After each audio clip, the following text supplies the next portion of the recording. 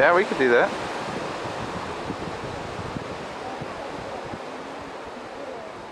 As a child, Dalton's favorite activity was playing army men, um, playing with dinosaurs. He would walk around and actually act out quite a bit a dinosaur.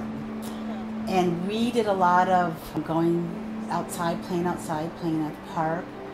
Uh, we did a lot of movies, just the typical things that, you know, young kids do.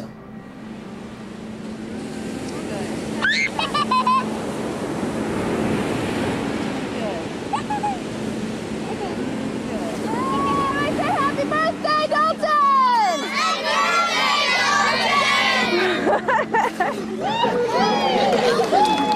hey, Dalton, how was that? How was that? Good job. Happy birthday, kiddo. When I was younger, the most common sport I played was baseball. And then I got into swim on swim team. And I did that up until my sophomore year of high school. And then I had to quit out.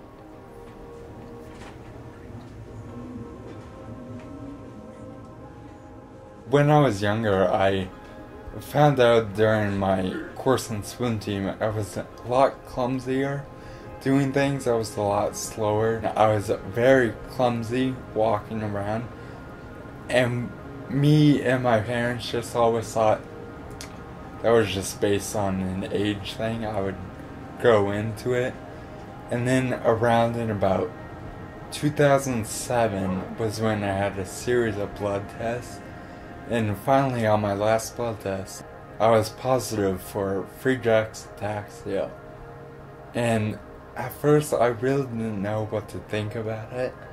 I was, I was young, and I really didn't know what it meant. I just thought, well, okay, I'm clumsier than the rest of my friends, so I just have to deal with that.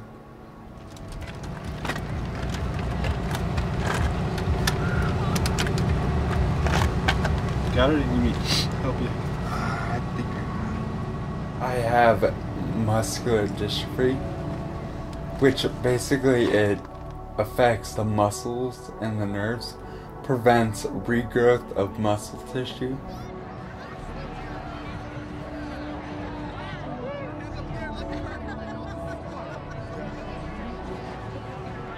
When Dalton was diagnosed, we weren't sure what it was other than it affecting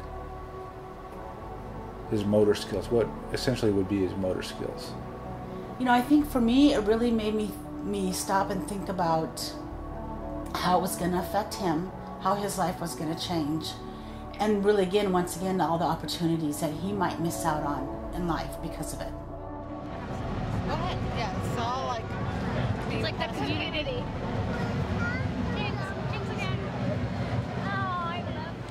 Is this an Xbox exclusive? No, it's PS4. Oh, this is PS4? No, Oh, it's, PS4 is one, it's yeah. both. Yeah. And then watch, he's dominated, so I can make him fight for me. Oh. Oh, After high school was really when I I really had to grow up where it was everyone was on their own and I really kind of had to learn how to use the wheelchair how I needed to do things on my own. A lot of things I wanted to do, I just couldn't do them, at least on my own.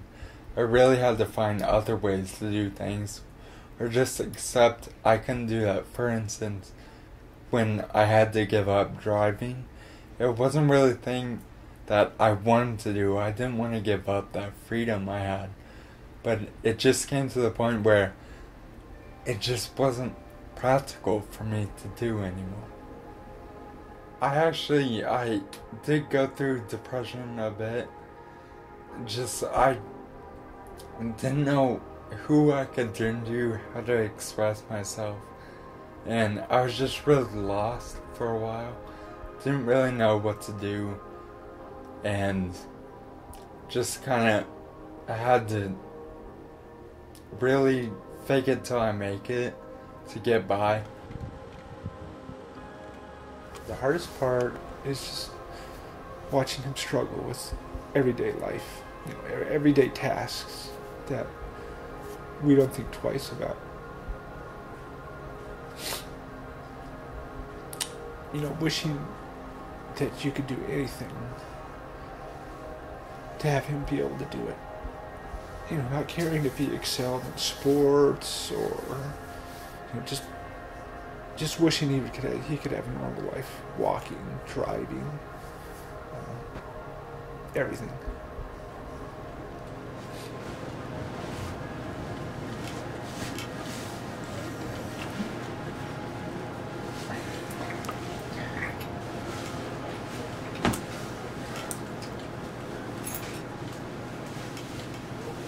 having a child with a disability, you don't think about the obstacles that are in the way. Um, our house is an older house, and so even the hallways, the doorways, um, he can't he can't get in a lot of them. So um, we've had to create a ramp for him so that he can go in and out of the garage of the uh, house into the garage. And now we're in the process of actually gutting our whole bathroom and making it handicap accessible. Eventually, it'll turn into a roll-in shower if he should ever need it. Right now, it'll be enlarging the shower stall so he can roll up to it and putting in a shower seat so he can just transfer from his chair to the shower seat since he's unable to walk anymore.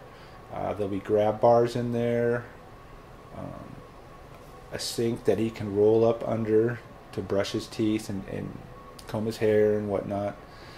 Um, the toilet in there with grab bars so he can he's able to uh, take care of his business.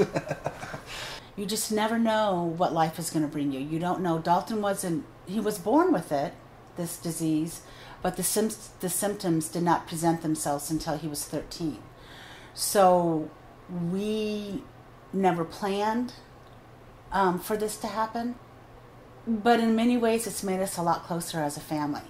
And you have to always look for the positive in every situation that you're given.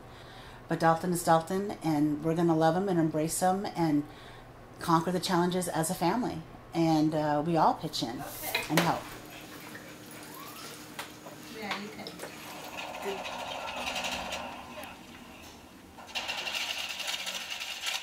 I'd say I'm definitely proud of him because he does go through a lot.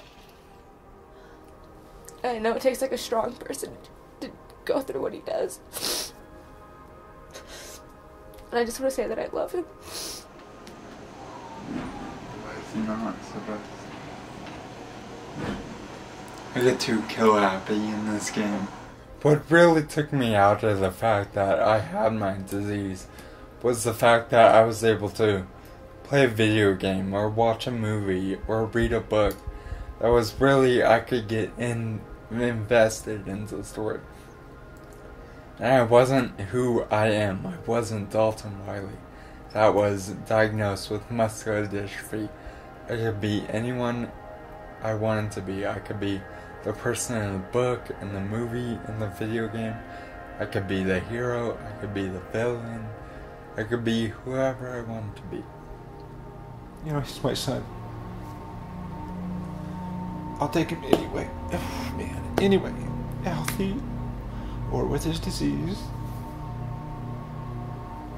He's my son, and he always will be.